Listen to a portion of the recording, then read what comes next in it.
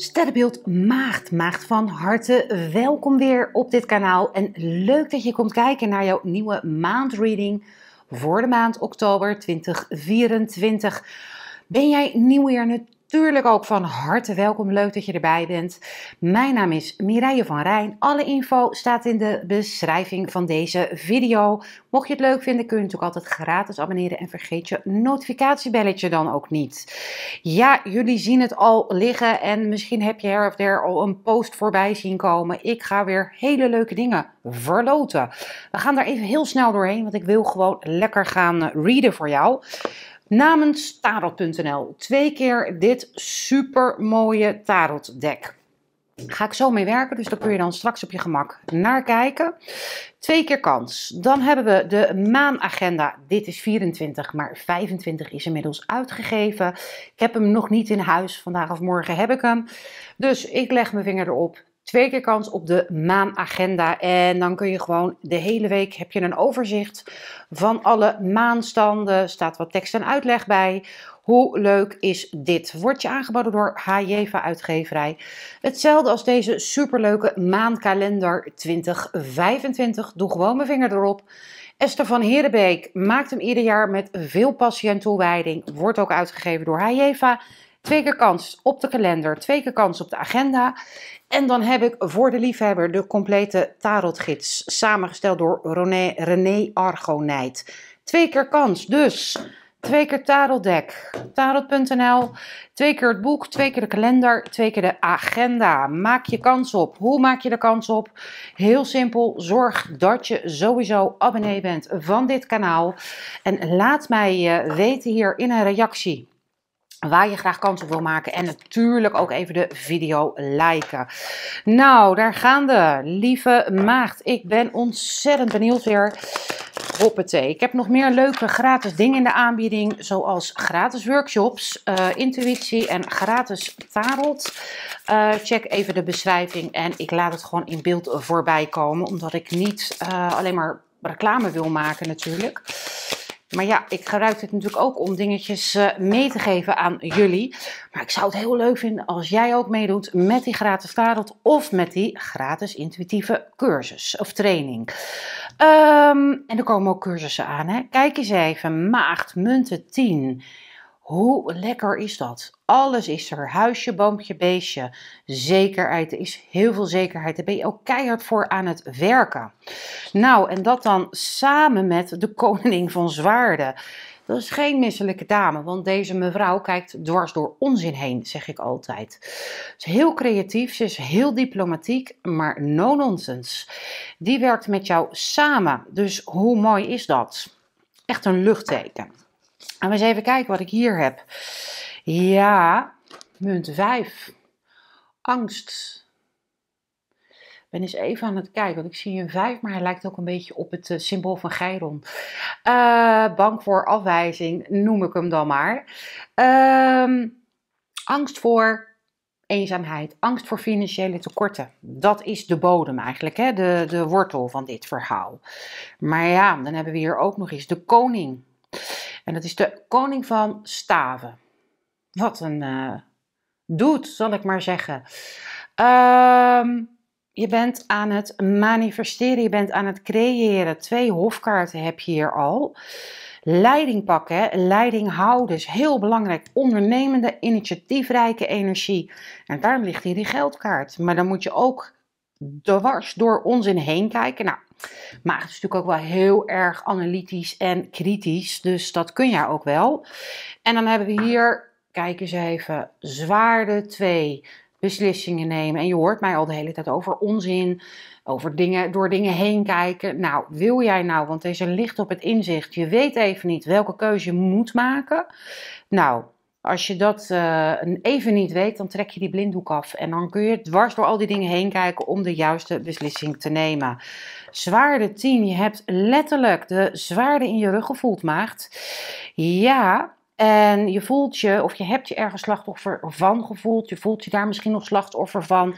Waarmee ik niet zeg dat jij je als een slachtoffer gedraagt of letterlijk het slachtoffer voelt. Maar je bent geraakt geweest ergens.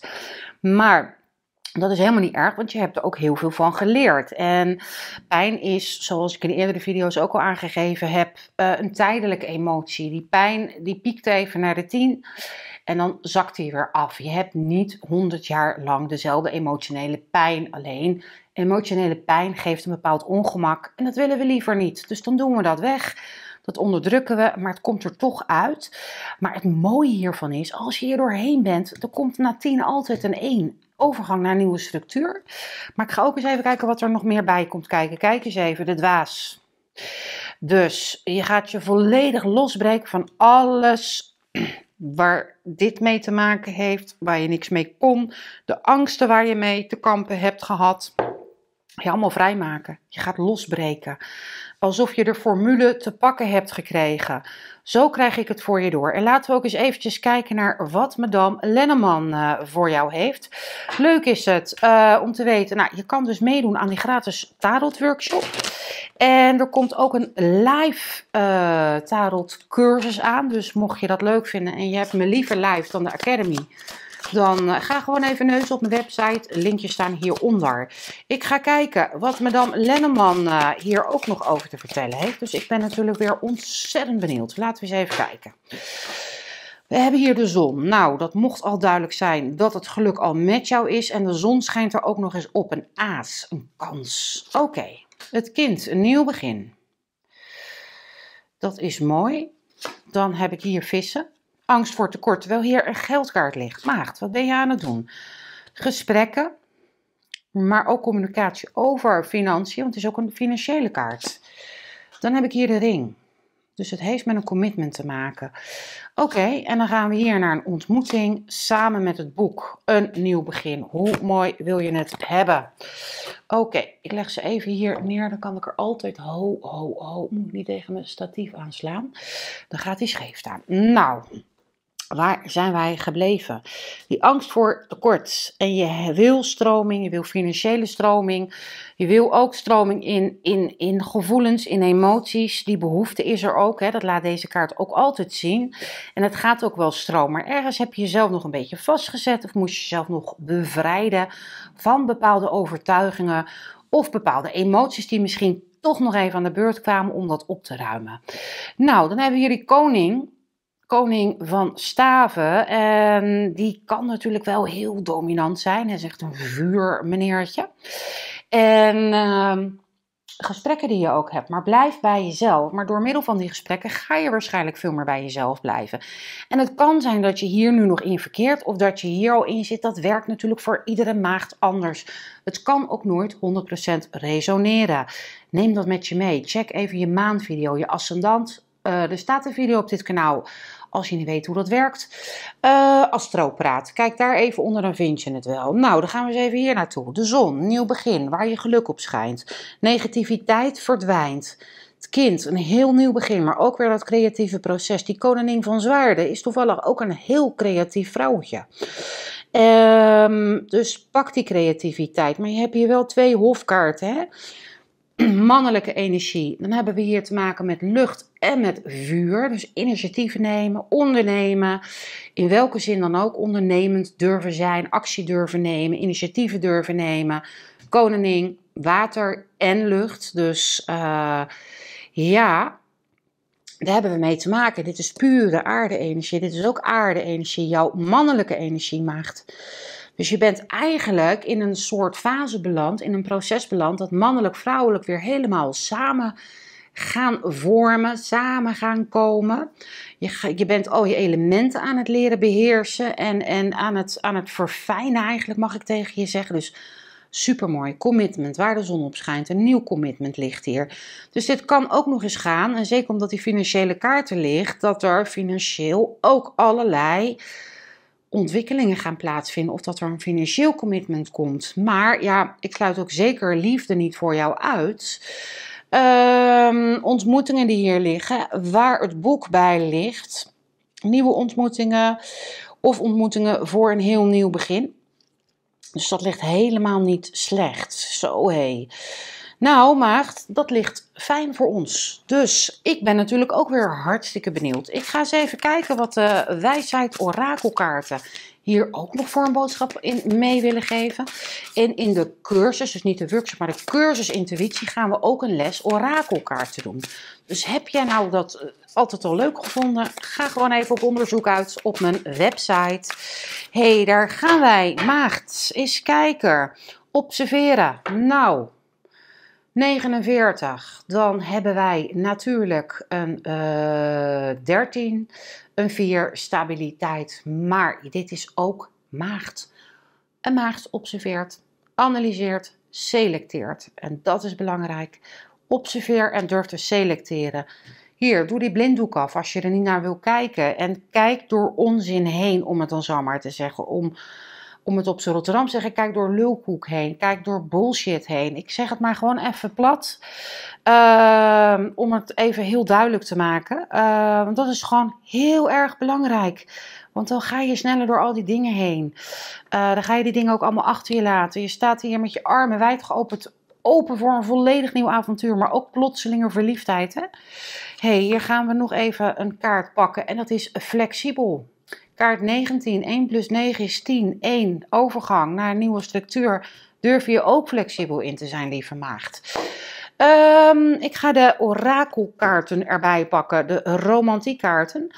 En heb jij zoiets, wauw, ik wil hier meer van weten, het resoneert, uh, maar hoe gaat het verder of hoe zit dit? Je bent altijd welkom voor een persoonlijk consult in de praktijk. Telefonisch consult, ook allemaal prima. Ik werk natuurlijk wel uitsluitend op afspraak. Daarvoor ga je gewoon eventjes naar Mireille Weet Meer. Wil je nou een direct telefonisch consult? Dat kan ook. Dan ga je gewoon naar puurmedium.nl. Oké, we gaan verder kijken. Liefdesorakel, romantiek. Geld en loopbaan. Op dit moment speelt geld een rol in je liefdesleven. Nou, kijk maar eens even op welke manier dat van toepassing is. Want hier ben je bang voor tekort. Maar er ligt ook qua loopbaan een enorme financiële ontwikkeling voor jou. En dan hebben we hier geef uiting aan je liefde. Vooruit en maak een romantisch gebaar. Lieve, lieve maagden, dit was hem weer voor oktober 2024. Ik hoop dat ik door middel van deze reading jou weer heel veel nieuwe inzichten, vooruitzichten en hopelijk ook inspiratie heb mogen meegeven. Ik zou het natuurlijk altijd sowieso leuk vinden als je me hieronder laat weten hoe je de video hebt ervaren en even je duim omhoog doet. Kleine moeite. Ben je nog geen abonnee? Je kunt je gratis abonneren. Wil jij kans maken op die leuke dingen allemaal? Het tarotdek, het tarotboek, kalender of agenda? Laat het hieronder weten. Vergeet je dan zeker niet te abonneren. Uh, gratis workshops. Uh, er komen ook nog nieuwe data. En ja, er staan twee hele gave cursussen voor je klaar. Nou, en verder, uh, misschien heb je hier voldoende aan. Ook helemaal prima. Ik hoop je natuurlijk wel in die gratis workshop uh, te mogen ontmoeten. Lijkt me hartstikke leuk. En ehm, nou, wie weet. Ik zou zeggen tot de volgende. Doei doei!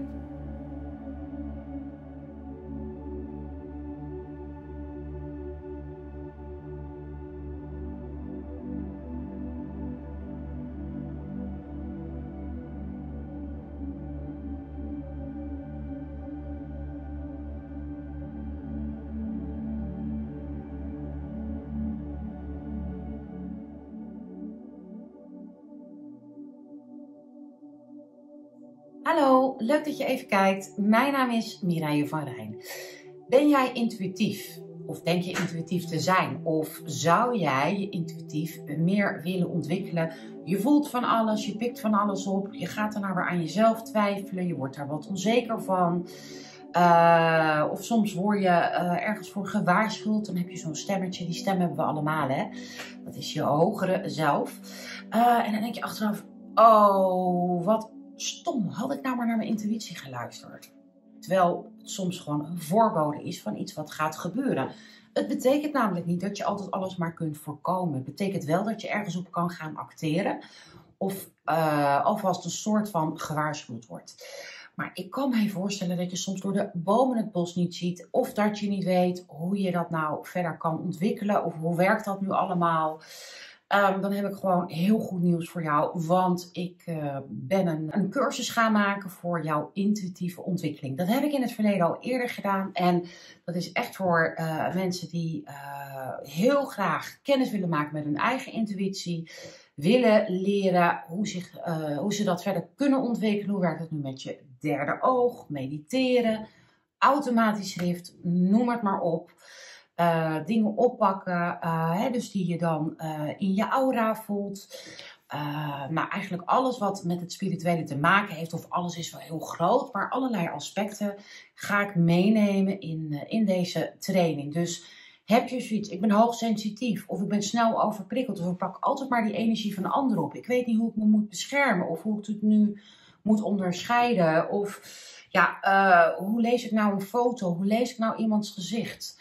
Hoe kijk ik nou door, door illusies heen? Hoe, kan ik nou waarheid kijken, helder zien? Want dat is het eigenlijk. Ik heb in ieder geval voor jou goed nieuws. Ik heb voor jou een cursus samengesteld, ontwikkeld, waarin ik jou uh, ga helpen met jouw intuïtieve ontwikkeling. De cursus zal live gegeven worden via Zoom. Kun jij een keer niet deelnemen? Geen probleem. Video's uh, worden allemaal opgenomen, de lessen kun je ze altijd weer terugzien.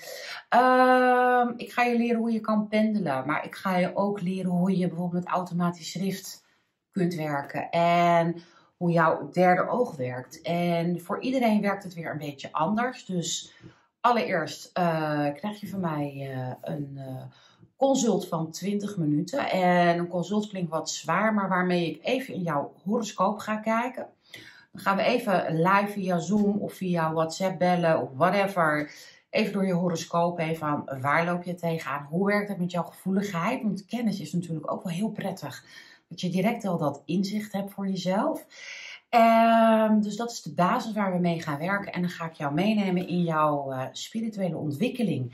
Zodat je daar wat meer grip op krijgt. En als je wat meer inzichten in jezelf krijgt en hoe dit allemaal werkt hoef je er niet bang voor te zijn, hoef je veel minder te twijfelen, word je veel zelfverzekerder, heb je veel meer zelfvertrouwen, gaan dingen ook makkelijker. En uh, het is natuurlijk ook super leuk om je gewoon ook eens in je uh, bewustzijn verder te gaan uh, ontwikkelen. Zelfbewustzijn, zelfvertrouwen. En uh, ja, sowieso reken ik erop dat we dat met een hele leuke groep mensen gaan doen. Dus ben je daarin uh, geïnteresseerd, schrijf je dan uh, in. Linkje staat vast hieronder of waar dan ook ergens uh, in de omgeving van deze video. Mocht je nou nog vragen hierover hebben, of over deze cursus, op de website www.mireilleweetmeer staat altijd onderin, rechts onderin, een WhatsApp-icoontje kan je gewoon aanklikken. Kun je gewoon even je vraag typen. En dan zal ik daar, zodra ik in de gelegenheid ben, zeker ook antwoord op geven. Ik hoop jou in ieder geval ook te ontmoeten. Want hoe leuk uh, in de, in de live lessen. Want hoe leuk vind ik het om mensen in hun vertrouwen te zetten. Om mensen in hun power te zetten. Om mensen te laten voelen hoe krijg je nou een beetje controle over al die gevoelige dingen die we niet kunnen zien. Wat, wat mensen soms ook een beetje gek vinden terwijl het niet gek is. Um, tijd voor verandering zou ik zeggen. En ik hoop je te ontmoeten in de online uh, lessen. En uh, tot snel. Doei doei!